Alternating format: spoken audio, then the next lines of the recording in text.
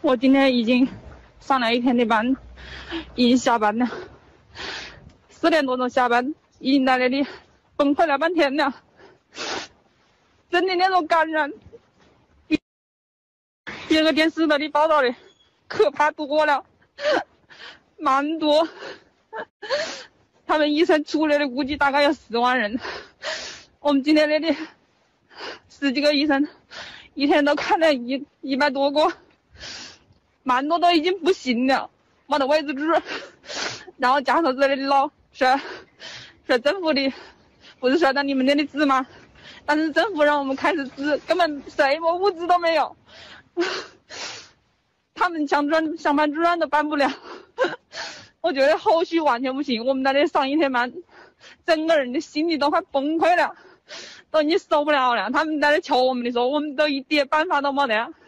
就看到一个好生生的人，叫他慢慢的都都不行，所以你们在屋里一定要做好防护，千万千万不要等到时相信政府。Frankly, Australia should wake up.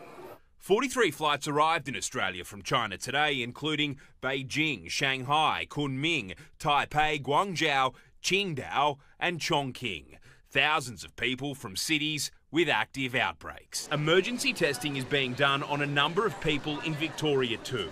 At our borders, no screenings, just a pamphlet about coronavirus for incoming passengers. Because symptoms don't develop for up to two weeks, the government says mass screening would be futile. We are incredibly well prepared to isolate and deal with that and to prevent any transmission. Victoria has a fully staffed, dedicated coronavirus hotline while potential patients in Sydney are being directed to a phone number if they feel unwell, but it's only open during business hours.